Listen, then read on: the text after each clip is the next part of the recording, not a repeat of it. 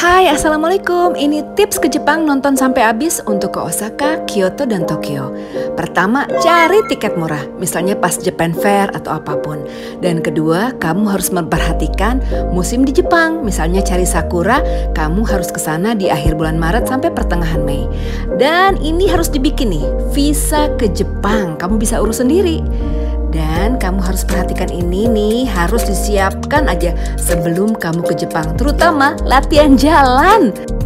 Untuk pemesanan tiket, kamu dari Jakarta ke Osaka dan nanti pulangnya kamu dari Tokyo. Perhatikan map ini ya. Well, akhirnya kita berangkat. Kita sengaja dari Jakarta ke Osaka supaya kalau mau trip ke Kyoto nggak memakan waktu jauh karena cuma setengah jam dari Osaka.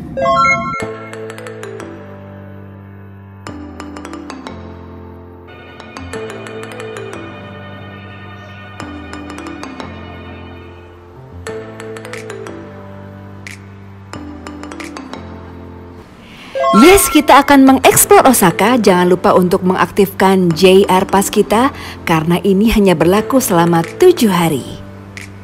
Dan ke mana pun kamu harus menggunakan Google Map ini jelas banget stasiun di mana, jalan berapa lama, dan apa pun lengkap aja. Dan ini semacam imani yang bisa kamu beli di Sevel. Nah, kita di Shinsai Bashi ini semacam kayak pasar baru ya kalau di Jakarta. Lorongnya panjang, banyak toko-toko dan ini Uh, Hello Kitty Sanrio, uh lengkap banget, banyak banget toko lucu-lucu pokoknya di sini. Dan di Shinsai Bashi ini sepanjang jalannya itu banyak banget pertokoan yang menjual barang-barang pre-love, tas-tas branded seperti Louis Vuitton, Hermes, Chanel. Aduh, uh, gemes gemes gemes. Dan ini bisa ditawar ya.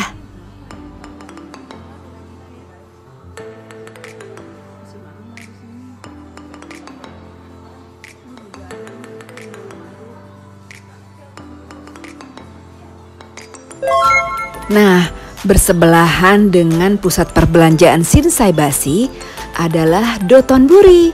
Dotonburi Street ini benar-benar tempat nongkrongnya orang-orang di Jepang buat belanja, buat foto-foto, hangout atau apa pun deh.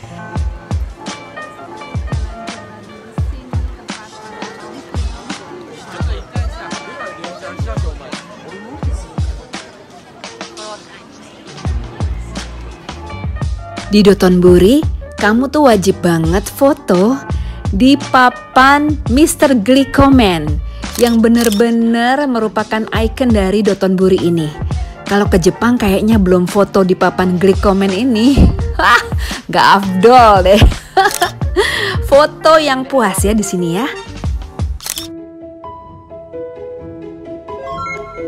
Sore di Dotonburi ini romantis banget.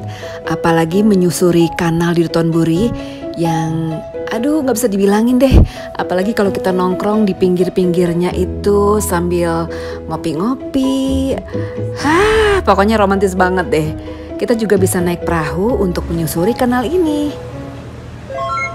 Menurutku ya, Jepang yang wajib dikunjungi adalah Kyoto. Kyoto tuh cantik banget. Dari Osaka, kita ke Kyoto dengan kereta memakan waktu sekitar 30 menit aja.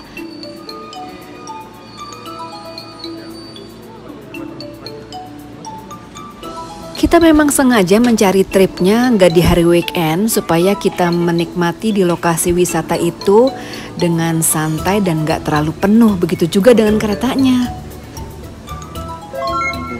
Yes, kita udah sampai di daerah Arashiyama dan kita wajib banget menurut aku ya sewa sepeda. Sewanya 1000 yen sampai jam 5 sore. Dan kita bakalan bisa mengeksplor lebih banyak daerah ini karena daerah ini sumpah keren banget.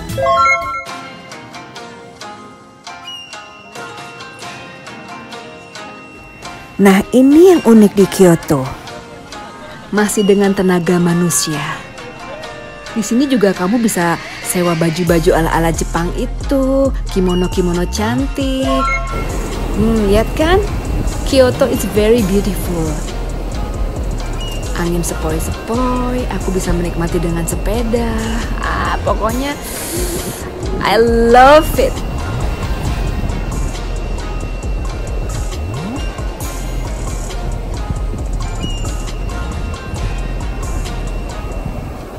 Kalau ke Kyoto, kamu wajib banget datang ke Bamboo Forest Arashiyama. Buat foto, hmm, keren banget. Tujuan kedua yaitu Fushimi Inari Taisha. Fushimi Inari keren banget buat foto.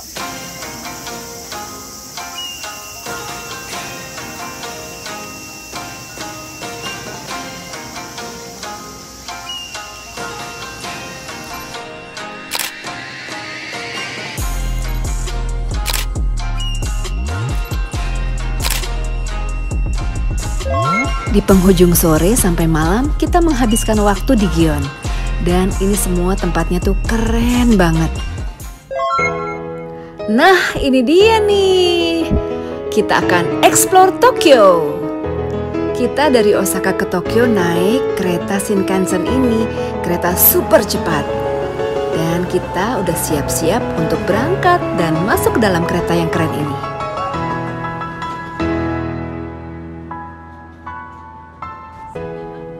Dengan kecepatan 300 km per jam, ini kereta memakan waktu sekitar tiga setengah jam dari Osaka ke Tokyo.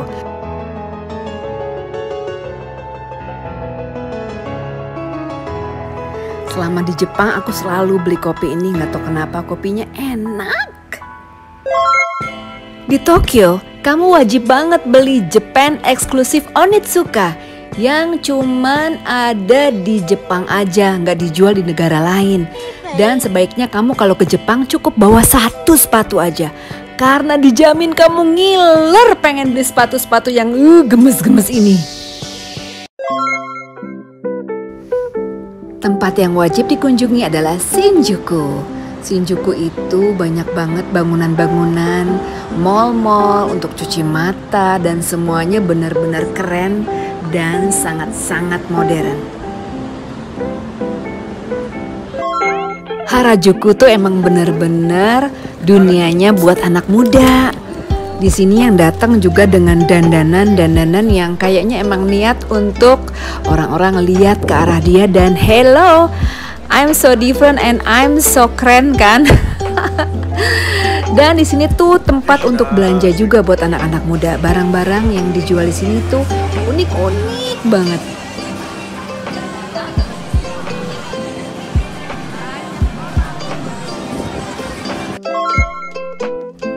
Shibuya Crossing adalah tempat penyeberangan pejalan kaki yang paling padat di dunia. Setiap dua menit ribuan orang menyeberangi jalan ini.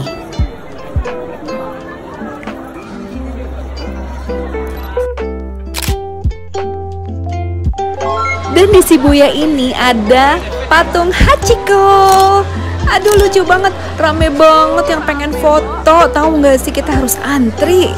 Walaupun antri, pokoknya aku harus foto sama Hachiko. Ginza itu adalah kawasan elit yang menjual butik-butik branded. Semua ada di sini, kumpul aja. Gucci, Louis Vuitton, Christian Dior, Giorgio Armani, ah macem-macem deh. Semuanya ngumpul aja di sini.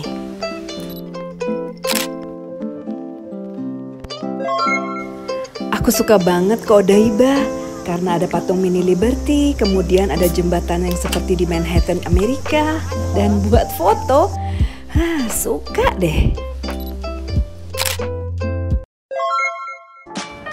Ini salah satu tujuanku juga datang ke Tokyo, ke Masjid Chami. Korban infotainment ya. Tapi beneran deh, masjid ini tuh keren banget. Desainnya juga cantik.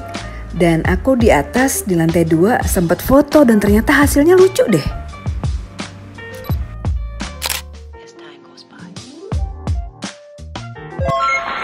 Sehari sebelum pulang aku wajib banget datang ke Disney Sea karena Disney Sea ini cuma ada di Jepang. Nah, kita bisa menikmati di sini seharian dari pagi sampai malam. Karena di sini permainan-permainannya seru banget. Yang paling serem nih buat aku nih, aku naik Tower of Terror. Itu sumpah serem banget sih, walaupun cuma sebentar. Dan ini aku suka banget ke Toy Story. Nah, kamu nanti malam harus banget nonton Fantasmic. Perpaduan antara laser, kembang api, dan itu sumpah gak akan terlupakan aja pokoknya. Di sini banyak banget spot foto yang bagus-bagus. Kita foto dulu yuk.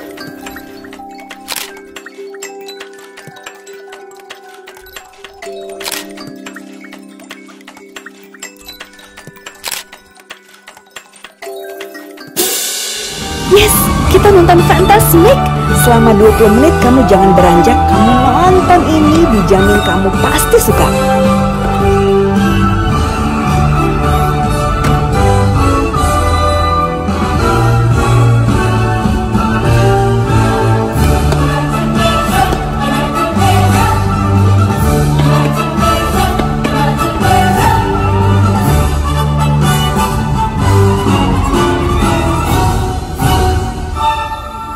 Hmm,